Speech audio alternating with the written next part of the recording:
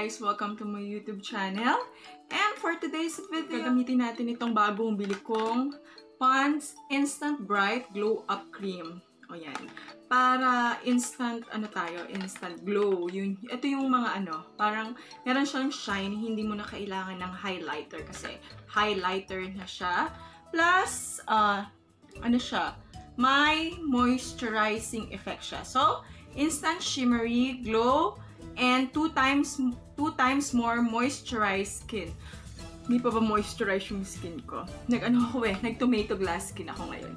And syempre, you know, parang glass skin na nga ako eh. You know. Pero tingnan natin kung makakadagdag siya. So, ang sabi dito, uh, uh, ang ano nito, ang shade nito, Golden Sunshine. So, let's see. Use as a moisturizer, use as a primer, makeup base, and pwede mo rin siyang ihalo sa BB cream and foundation. You can use as highlighter. Then, ano, instant glow glass skin with brightening vitamin with brightening vitamin B3 plus hydrating hyaluronic acid UV filter lightweight and easy to apply, suitable for everyday use. Okay? Hmm. For the first time ever, Pond's is introducing the hybrid collection that brings together the best of skincare and makeup. You desired luminous makeup-like finish now in your day cream. Get smooth, bouncy skin with instant glowy glow. Okay, warning! Don't be don't be under the sun for too long even using sunscreen. Tama. Kasi kahit uh, nag, may sunscreen ka, kung talagang namang babad ka sa araw, talagang masisira ang skin mo. Store in the room that has no direct contact to the sunlight and heat. So, huwag nyo siyang store sa room na merong uh, nakatapat yung init ng araw doon or mainit doon sa, sa kwarto na yon. If there is indication of irritation, stop the usage and consult with dermatologist. So guys, ito, meron pa siyang hyaluronic acid. So alam naman natin yung hyaluronic acid na yan, eh nag attract ng moisture. So para rin siyang uh, anti-aging din. So try na natin. Try na natin kasi mag-film din ako mamaya ng aking uh, review about sa tomato blasting. Pero dahil gusto ko munang masubukan ito, yan guys, ganito siya. Ganito siya kalaki ha. Ito yung palm ko.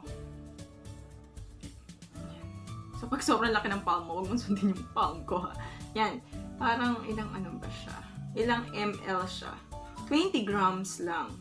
Mhm. Mm Ayan. 20 grams lang siya. So, na natin. Paunti-unti lang. Ah, ito yung color niya. Ay! Parang masyado siyang dark para sa akin. Parang masyado, parang masyado siyang dark sa akin. Pero tingnan natin kapag nag-blend. Maliit lang. Mm, okay. Nakita ba? Hmm. Parang wala. Ganyan natin dito. Kung pak. Tignan natin kung papak siya, ha? Ba yan? Tignan natin. Oh, oh, oh. Tignan natin. Feeling ko maganda siyang ihalo sa ano, sa moisturizer mismo. Ah. Ah. Ano ba? Parang nangitimata yung mukha ko dito.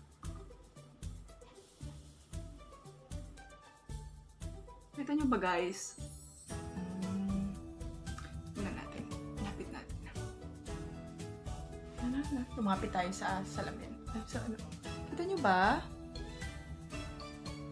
Parang nangitim lang yung mukha ko ah. Ang amoy niya, amoy siyang ano, may perfume siyang, kaamoy siya ng perfume na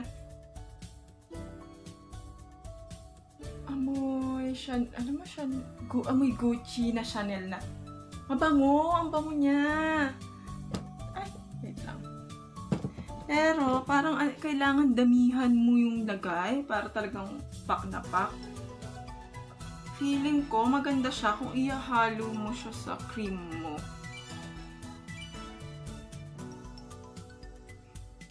Sa iyo. Natin. Kung mag-pack sa'yo. Ayan, sa nose. Sa nose siya nag-pack.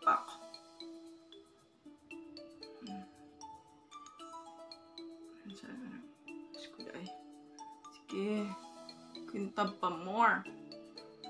Quintab. Hmm. Quintab pa. Ah, yan. Yung effect niya. Parang mas gusto ko yung white ata. Kasi parang nakakaitim ito. Parang nakakaitim tong ano na to. Oh. Kamali ako ng shade na nabili. Hmm. Mm, gustuhan ko ba? Ay, mas maganda ata yung white.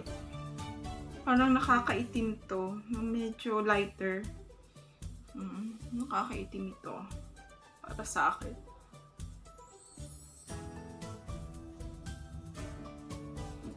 Mm. Kasi maka-oil. Parang parang nakaka-oily yung tsura niya.